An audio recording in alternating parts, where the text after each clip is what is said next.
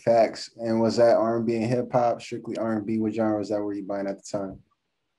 Um, at the time, I was buying strictly R and B. Like I would buy all the people I saw on uh, VH1 Soul and like on okay. the the music videos. Like I used to tape them and rewatch them, and so I started just buying all the people that I would see on there. Yeah. Um, and it was strictly like R and B, but I grew up on like pop. Okay. Like I grew up on like the Britney Spears, the Christina Aguilera's, the Aaron Carters, and of course it was like Brandy and Monica, and but anything that was like super mainstream, like that's what yeah. I knew of. wow, so that's that's you're a real Valley girl then. How'd you get introduced to pop? Uh, just from like you know, like you know Disney, Nickelodeon, like I basically knew what was like playing on there, like Mandy Moore, like you know. yeah. I did like I did really love uh, growing up. I love Paramore. Um, yeah, yeah so kind of some different influences in there.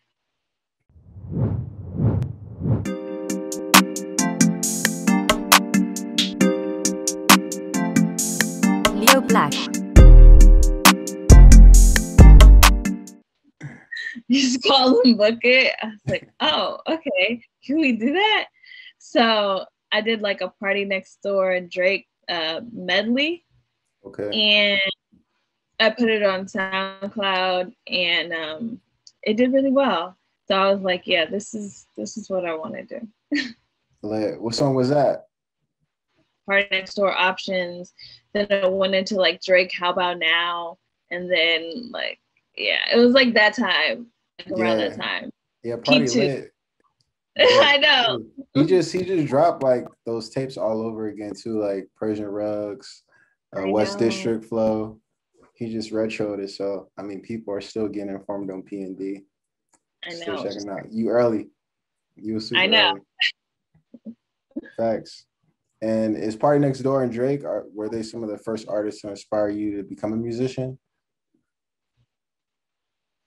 No, I've always wanted to do music. Like I've always sang, uh, always said I was gonna be a singer. Like when I was like two years old, like always. Yeah. Um, but I think Frank Ocean really kind of like sparked that drive in me again. Like when I heard Frank Ocean. Was it blonde? That was like I was like. Was it orange? No, no, Frank Ocean. It was like right before Orange. Okay. I think the first song I heard was Thinking About You. Okay. And then like I went back and I heard Nostalgia Ultra and then the other like mixtape stuff. So this was when he was still Odd Future. Yeah. Yeah. I only think no one knew he was gay at the time back then. People were just like, oh, Frank Ocean's a part of Odd Future. And then later on, like before he dropped Blonde, you know, then the, then that came out, whatever. Yeah, well, it was right before Channel Orange and um, like right before he blew up because I bought tickets to his concert at the Wiltern. Yeah. It was thirty five dollars. Lit, lit. I fucks with the Wiltern. Wiltern, that's on Pico, right? Or in Koreatown? Yeah. yeah. Yeah, it was 35 bucks. And then like that whole article came out where he did the letter, like, and then his concert sold out next day. People were like, I'll pay you $150. And I was like, no, I'm gonna go see Frank Ocean. hey, that would have been a cool little resale, like the Pokemon cards.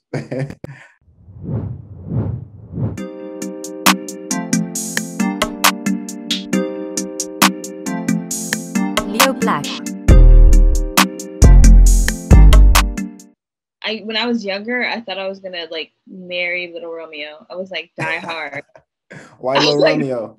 Cause like you know, I don't know, we're like he was like he was probably like 13 and I was probably like seven and I'm like, oh my God, that's the guy for me. I don't know. It just he had like he was like had his own show, you know. It just I thought that was that was me. That was like all me when I was little. I was like, nobody can tell me different. This is what it is.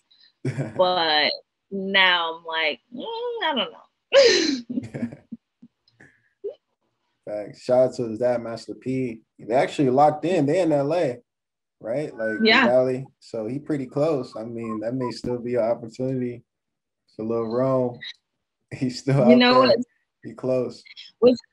What's funny is I met I met Master P um one time when I was uh I was like in the studio with a friend and uh he was working with Master P and he was in there very very smart guy like I was young and stupid like I don't know like I feel like I know what I'm talking about I had no idea what I was talking about